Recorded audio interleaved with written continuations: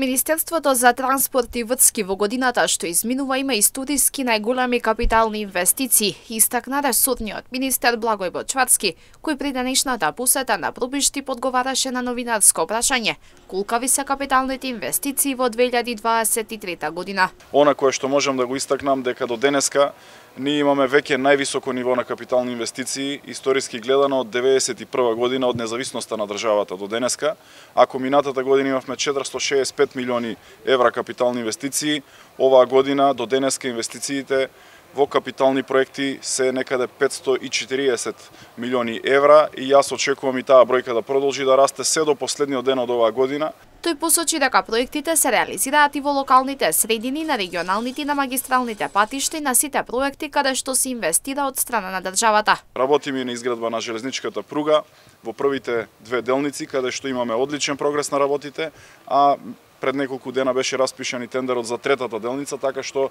а, наредната година очекувам да биде уште посилна и реализацијата на сите проекти да продолжи непречено. Бочварски додаде дека е добро што временските услови послужиле, па и денес се работи на повеќе места од државата и со тоа се придонесува за развој на општините.